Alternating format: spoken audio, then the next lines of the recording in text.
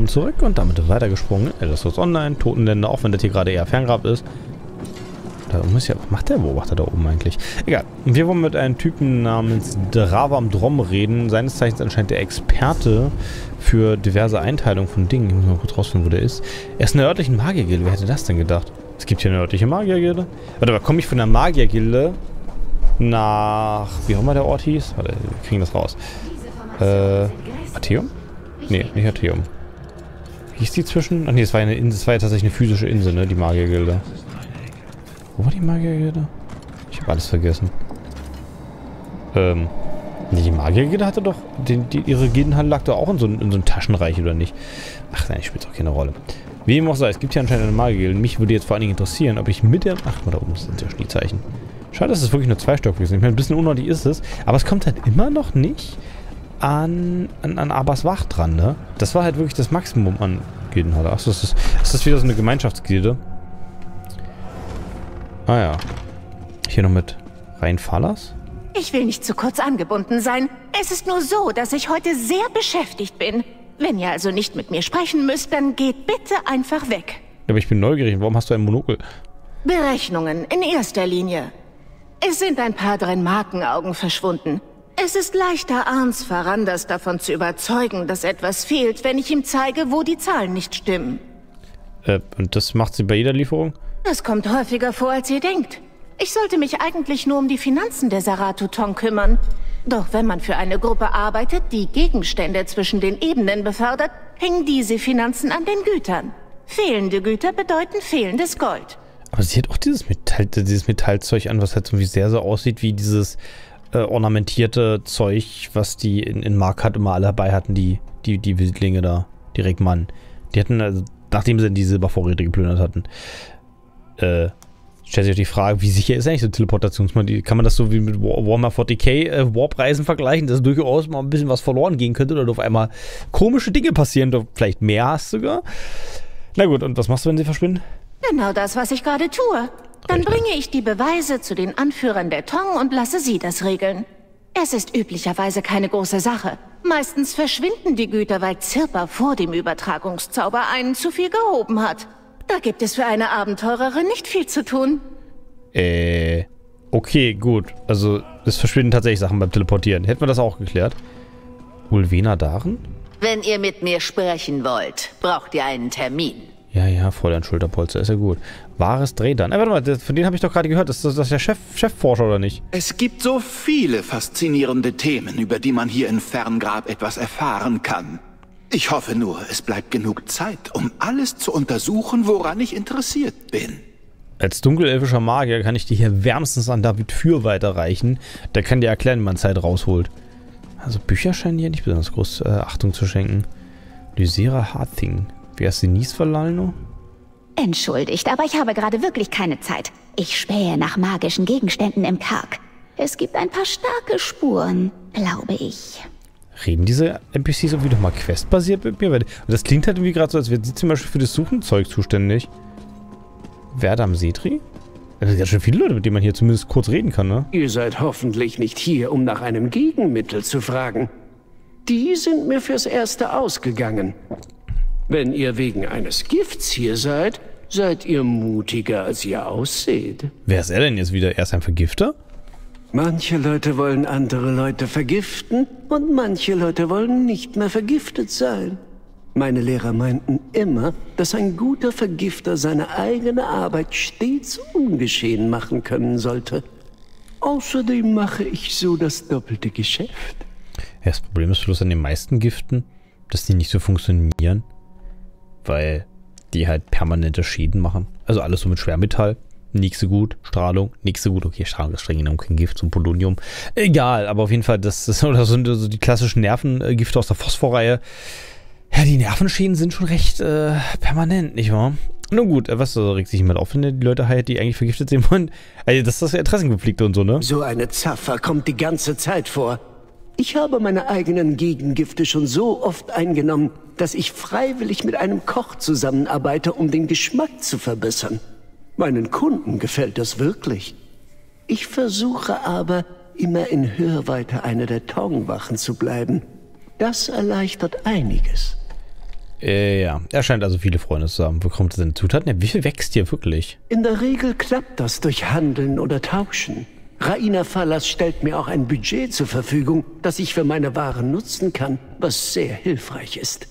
Oh, und wenn Wahres Dredain an einem neuen Vorhaben arbeitet, stehen die Chancen immer gut, dass man mich als Hilfe hinzuzieht.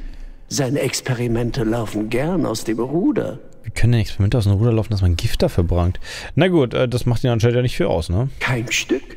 Wahres ist ein schräger Geselle, aber er hat mich dazu angetrieben, so viele neue Gegengifte zu entwickeln. Lavagold, Dagonsdrossel, Miralis und das sind nur die jüngsten.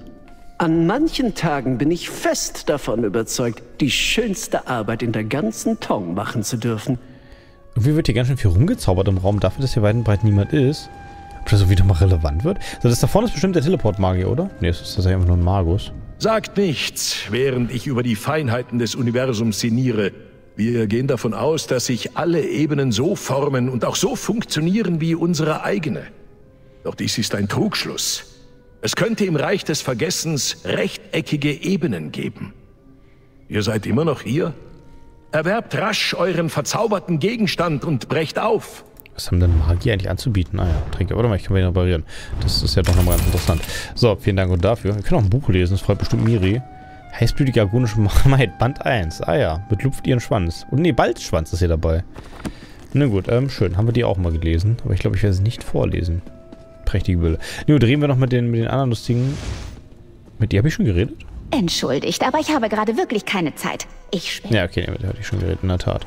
Noch wen? Na gut, dann reden wir noch mal kurz ihn erfahren, kurz, was ist mit dem, was soll ich umbringen? Den Entschaffer? Ach, ich oh, muss den sogar töten. eine neue Abenteurerin im Haus der Tong. Was kann ich für euch tun? Nun gut, äh, Waveli hat mich angehört, um den Entschaffer zu töten und aus Okay, ich kann das nicht sneaken, fällt mir gerade so auf, weil ich die Questbeschreibung natürlich nicht richtig gelesen habe, weil ich muss die vier trotzdem töten. Ja gut, äh, ja, ich soll den Entschaffer töten. Äh, easy bestimmt. Äh, kannst du was dazu erzählen? Wunderbar.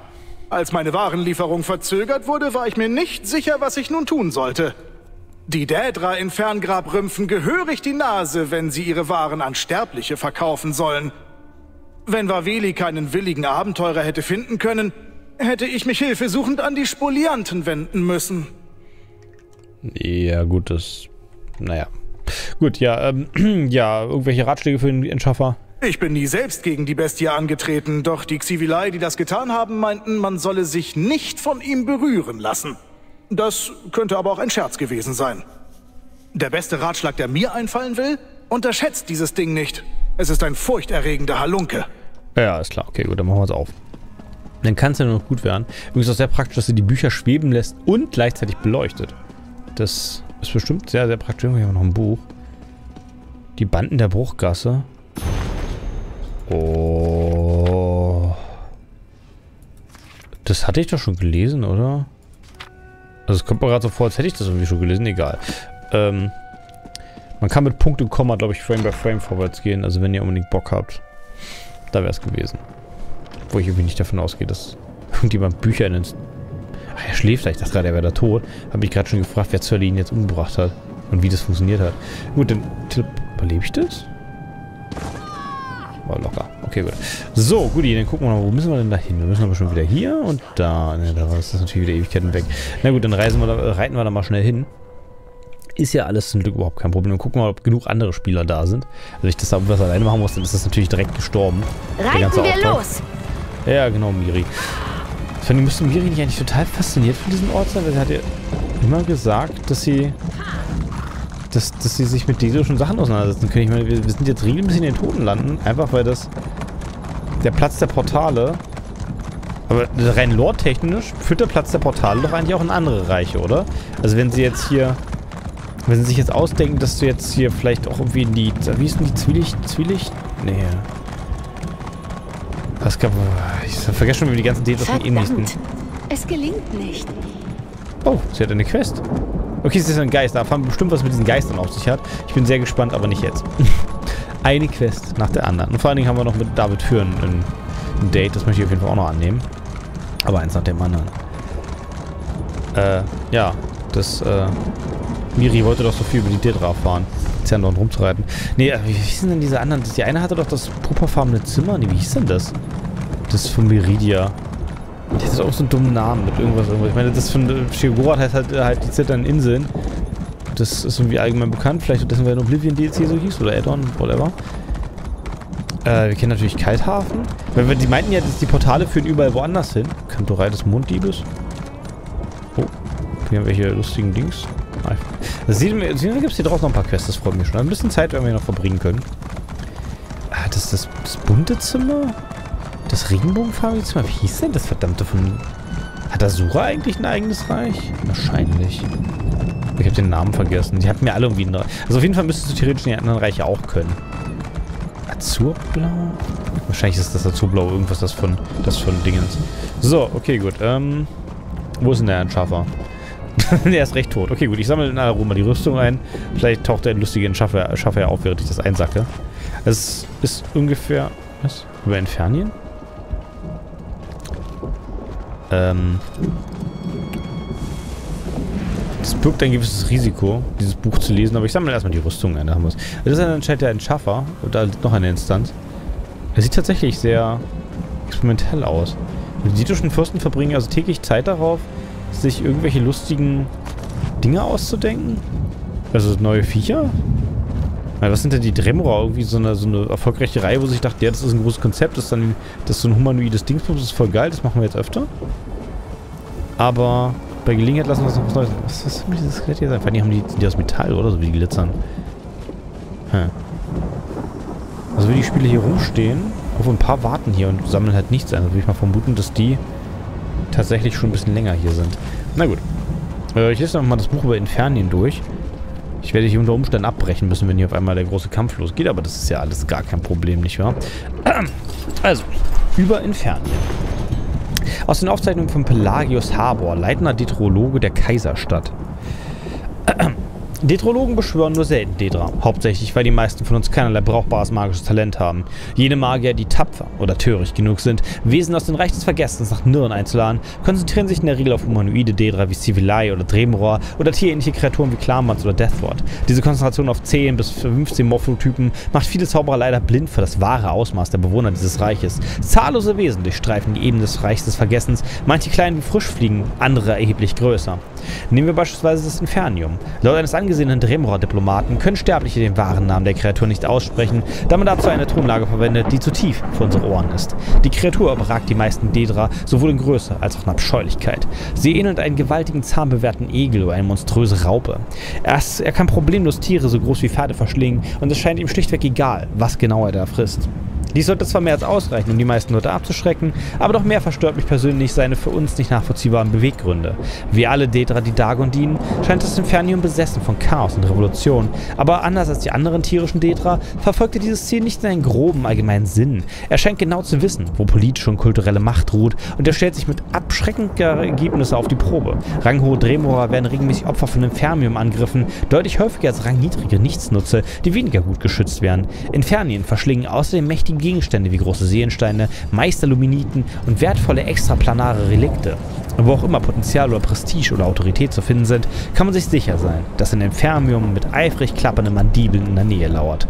Dies wirft allerlei ontologische Fragen über die Essenz von Macht auf, etwa, dass wir Sterblichen seit jeher als abstraktes Konzept betrachten. Wir müssen die Möglichkeit in Betracht ziehen, dass im Reich des Vergessens abstrakte Macht als quantifizierbare materielle Energie existiert könnte, die man aufspüren, messen und vielleicht sogar in physischer Form sammeln kann.